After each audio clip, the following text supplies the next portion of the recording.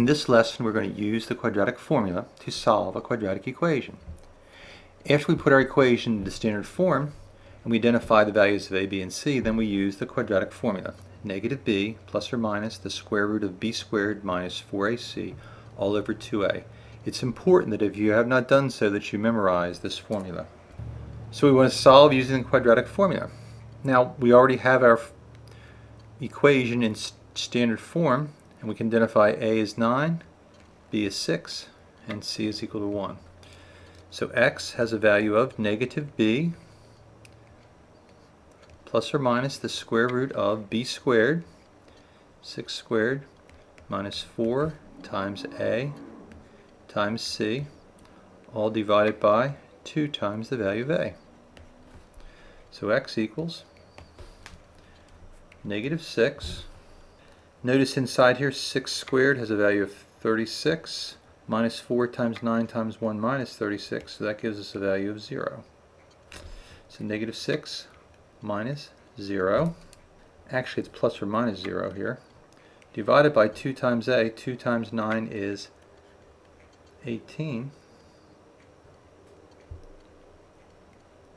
so we wind up with negative 6 over 18 which is the same as negative one-third.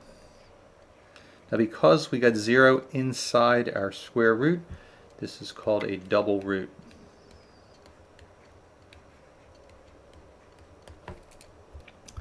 Let's try a second example, x squared minus 10x equals negative 9. Please notice we don't have a 0 on the right, so we need to add 9 to both sides of the equation. We need to get a 0. We have x squared minus 10x plus 9. I put the 9 to the far right so that this equation would be in descending order, so it's in standard form. We now can identify a is the coefficient here, 1, b is negative 10, c equals 9. So we take x equals negative b, b is negative 10, plus or minus the square root of b squared minus 4 times a times c divided by 2 times a. So that means x equals negative a negative 10 is the same as 10 plus or minus.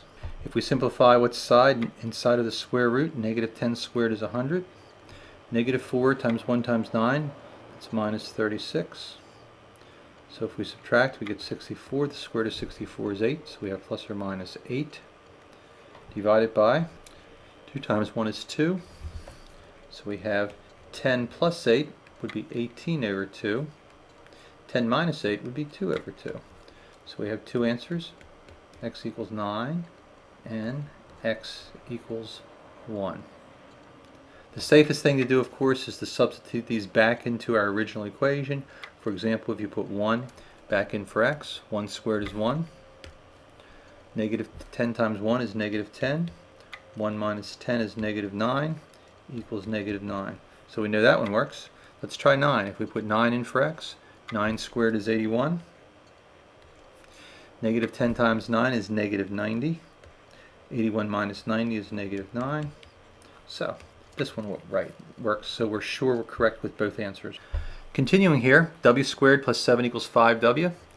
Notice that we want to get a 0 on the right, so let's subtract 5w from both sides of the equation. So we have w squared. Now I wrote this in standard form, make it easier to find the values of a, b, and c. So a equals 1, b equals negative 5, and c equals 7. So x equals negative b plus or minus the square root of b squared minus 4 times a times c all divided by 2 times a. Negative and negative 5, so x equals 5. Plus or minus the square root of 5 squared is 25. 4 times 1 times 7 is negative 28, so we're left with negative 3. All divided by 2. So answer is 5 plus or minus the square root of negative 3 all over 2. But wait a minute, negative inside the square root, it turns out this is not a real number. So there's no real number answer for this particular equation. Later in mathematics of a subsequent course, you analyze how to deal with this. Let's try one more. Negative 2t equals 2 minus 3t squared. We want to get the t squared to the left. Notice I'm putting it first.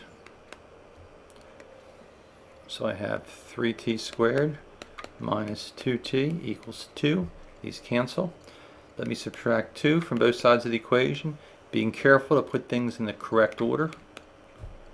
3t squared minus 2t minus 2 equals 0.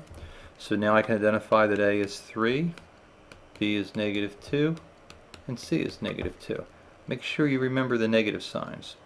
So to find the value of x using the quadratic formula, negative b plus or minus the square root of b squared minus 4 times a times c all divided by 2 times a.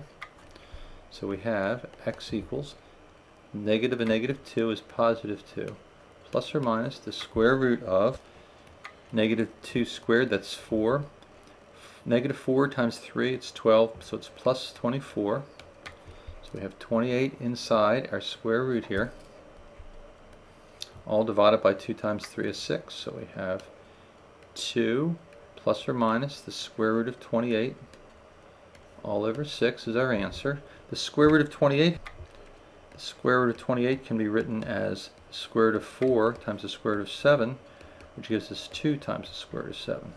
Therefore, we can write 2 plus and minus 2 times the square root of 7 all over 6.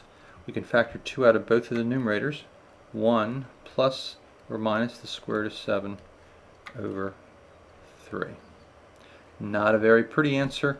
Of course, we could also write this as 1 third plus and minus the square root of 7 over 3. Either one of these answers would be acceptable.